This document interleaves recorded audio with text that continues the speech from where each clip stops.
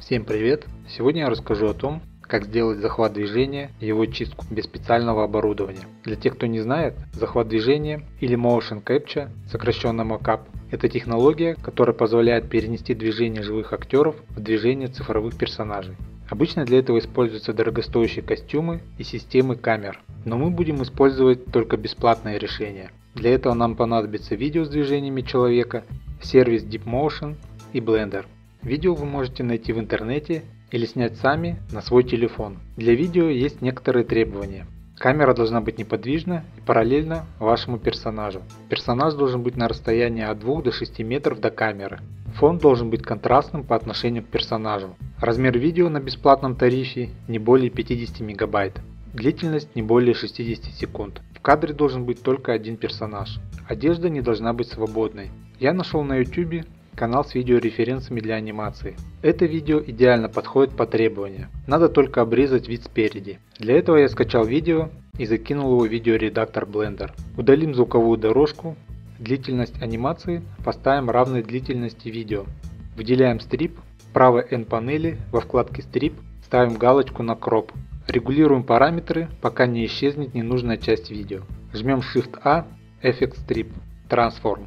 Здесь мы покрутим параметр Scale X, чтобы видео перестало быть растянутым по горизонтали. Жмем еще раз Shift-A, Color. Меняем у этого стрипа цвет на белый. Положим его в самый низ. Выделяем стрип Transform. В окошке Blend меняем значение Replace на Overdrop. Далее меняем настройки рендера. Формат файла FMPEG Video. Контейнер MPEG 4. Делаем рендер. Идем на сайт DeepMotion. Здесь надо зарегистрироваться После этого вы можете зайти в свой кабинет. Здесь нам доступна одна вкладка Animate 3D. Заходим. Здесь доступна возможность загрузить своего персонажа в формате FBX или использовать дефолтного. Я выберу дефолтного, так как эту анимацию по-любому придется чистить, а на персонаже в формате FBX это невозможно, ну или возможно только в ограниченных случаях. В следующем окне надо загрузить видеофайл. Это можно сделать простым перетаскиванием. В следующем окне вы можете поэкспериментировать с переключателями. Иногда у меня получалась анимация лучше со включенными переключателями, иногда лучше с выключенными. Далее жмем Create Animation. Нужно немного подождать. В новом окне мы можем видеть результат. В правом нижнем углу есть кнопка выбора персонажа. С ее помощью вы можете посмотреть, как будет выглядеть анимация на персонажах с разными пропорциями. Жмем загрузить анимацию. Далее выбираем пропорции персонажа и формат файла. После того, как сохранили анимацию, идем в Blender. В Blender нам нужен любой персонаж, зариганный с помощью аддона Regify. Я использовал персонажа из Dust Studio, базовый Genesis 3. При переносе его в Blender есть возможность конвертировать его в Regify. Как перенести этого персонажа из Dust Studio в Blender, смотрите в моих прошлых видео. Нам надо кое-что сделать с этим персонажем. В правой N панели включаем видимость так называемого IK полюса. После этого жмем кнопку, где написано IK-FK. Проделываем ту же операцию с другой ногой. Теперь выделяем оба полюса и жмем Ctrl-A, Apply Selected as Rest Pose. После этого надо сделать ретаргет анимации. Я использовал способ, также уже описанный в одном из моих видео. Этот способ ретаргета через промежуточный метарик из пустышек.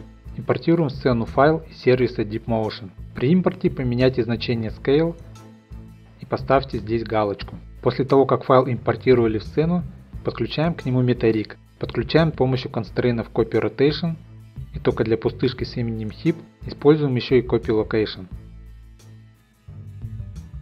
Добавляем персонажа до Studio в сцену. Переходим в Pose Mode. Руки и ноги Vergify должны быть переведены в режим прямой кинематики. Подключаем контроллер Regify к Metarigу помощью констрейнов Copy Rotation. Только для контроля торса используем два констрейна – Copy Rotation и Copy Location. Подключаем контролы прямой кинематики. Лучше всего при подключении каждой пустышки куб в метариге смотреть как ведет себя Rigify и исправлять проблемы с помощью пустышек сфер. Я повторю, что подробнее об этой схеме вы можете узнать в моих прошлых видео. Пальцы рук я подключать не стал, чтобы потом придать им позу самостоятельно. После того, как мы все подключили, можно приступать к чистке анимации. Что такое чистка мокап? Это устранение вот таких плавающих ног, пересечение геометрии, дрожащих конечностей и других проблем, распространенных при захвате движения. Займемся ногами. Плавающие ноги – это, наверное, самая частая проблема при этой технике. Создадим плоскость и разместим ее под ногами персонажа, чтобы было легче видеть все проблемы движения ног по вертикали. Добавим плоскости модификатор Solidify, чтобы она была видна в ортографической проекции. Теперь надо запечь анимацию на кости Rigify. В Pose Mode выделяем все, идем в верхнее меню Pose Animation Bake Action. Ставим нужное нам количество кадров и нужные галочки. Жмем ОК.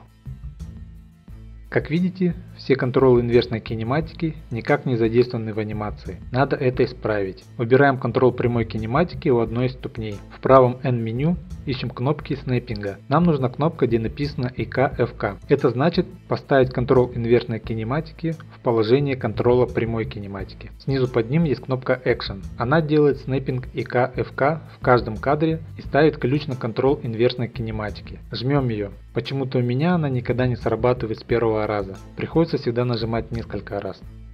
Запустим анимацию. Как видите, один из контролов инверсной кинематики стал анимируемым. Проделаем ту же операцию с другим контролом. Для ног это делать обязательно, для рук не всегда. Только если персонаж что-то несет или упирается руками, или еще как-то взаимодействует с объектами. В нашем случае это не обязательно. После того, как мы задействовали контролы инверсной кинематики в анимации, надо переключить в этот режим ноги. Удалим ненужные ключи анимации и сдвинем оставшиеся. Перейдем во вкладку Animation. Откроем Graph Editor. Давайте теперь посмотрим, как двигаются ноги персонажа. Он делает шаг вперед, потом маленький шаг назад, маленький шаг вперед и удар. Пока левая нога делает шаг вперед, правая должна оставаться на месте. Там, где левая ступня встала на пол, ставим маркер. Далее у нас правая нога идет назад, а левая стоит на полу. Когда это движение заканчивается, ставим еще маркер. Теперь у нас снова левая делает шаг вперед. Там, где она становится на пол, ставим третий маркер. Далее персонаж наносит удары правой ногой. Там, где правая нога возвращается на пол, ставим четвертый маркер. Выберем контрол инверсной кинематики на правой ступне. Посмотрим на анимационные кривые в Graph Editor. С начала анимации по первый маркер правая нога у нас должна оставаться на месте, что в данный момент конечно же не так. Исправим это. Уберем видимость всех кривых, оставим только X-Location. Выделим все ключи до первого маркера. Pivot Point меняем на 2D курсор. Теперь зажатым Shift щелкаем правой кнопкой мыши по первому ключу. Курсор переместился в это место. Далее жмем S Y0. Все ключи выровнялись по курсору, то есть теперь до первого маркера ступня по оси X не будет перемещаться. Проделаем то же самое с кривой Y Location. Теперь до первого маркера правая нога стоит на месте, но перемещается вверх-вниз. За это отвечает кривая Z Location. Выровняем ключи. В некоторых кадрах нога проваливается, это потому, что она вращается по оси X. Нам надо подвигать или ключи на оси X Rotation, или по оси Z Location. Раз мы уже редактируем Z Location, то не будем переключаться. Подвигаем ключи. Чтобы изменить форму кривой между ключами, нужно использовать эти хендлы. При их перемещении меняется и анимационная кривая. Смотрим, что получилось. До первого маркера правая нога остается на месте, как и запланировано, но потом совершает скачок. Это потому, что у нас получились резкие переходы в анимационных кривых. Надо их сгладить. Можно подвигать ключи или просто удалить их часть. Займемся другой ногой. С первого по второй маркер левая ступня должна оставаться на полу. Проделаем те же операции с кривыми, что и на правой ступне. Скроем все кривые кроме одной Выделим ключи в промежутке между маркерами и выровняем их. В этот раз попробуем редактировать кривую X-Rotation. Иногда проще удалить часть ключей и поставить новые.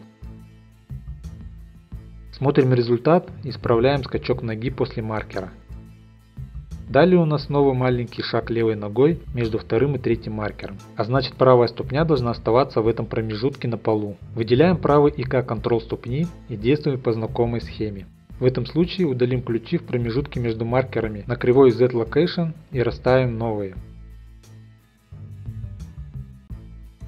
Не забываем, что нужно делать переход между соседними ключами, чтобы не было резких скачков. От третьего до четвертого маркера персонаж бьет правой ногой, а левая должна оставаться на полу. Выделим левый ИК контрол. Выровняем все ключи на анимационных кривых в промежутке между маркерами. Посмотрим на персонажа спереди. Поза, в которой он бьет ногой, неустойчива. Центр тяжести в этом случае должен находиться под левой ступней. Это можно сделать, изменив положение контроля торса. Выделим его. В граф Editor нам нужна кривая Y-Location. Подвигаем ключи в промежутке между третьим и четвертым маркером. Часть ключей можно удалить. Можно вообще все удалить и самостоятельно проставить только нужные. Вы можете делать как вам удобнее. Самое главное результат. После четвертого маркера левая и правая нога остаются на полу. Отредактируем кривые, чтобы ступни не плавали. Как это делать вы уже знаете.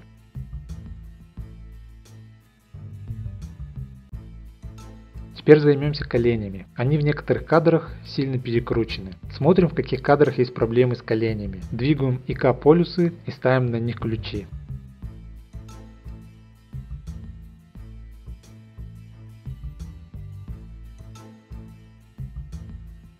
Посмотрим, что творится с руками. Как я говорил, в этом случае их можно редактировать в режиме прямой кинематики. Движения рук выглядят неплохо, в том плане, что нет дрожи и перекрученных суставов. А в плане красоты анимации, конечно, можно было бы что-то исправить. Но это тема не этого урока. Согнем пальцы в кулак.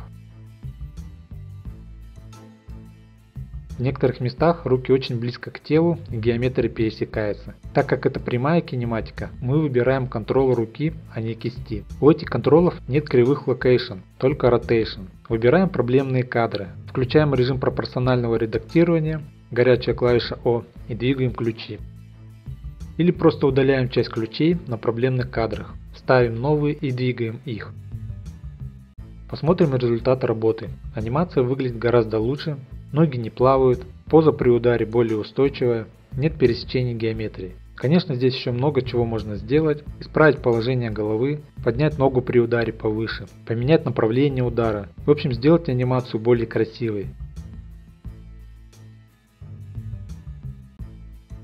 Но цель этого урока была дать вам основные знания о том, как чистить мокап. Я оставлю ссылку для скачивания этого файла с ним вы можете применить и другие файлы сайта DeepMotion к тому скелету, к которому привязан метарик, и сделать их чистку. После этого вы можете использовать их с Regify или сделать еще раз ретаргет уже с Regify на ваш персонаж. Надеюсь урок был вам полезен. Если так, то поставьте лайк, чтобы YouTube тоже узнал, что видео годное. Подписывайтесь и пишите комментарии. Всем удачи, пока.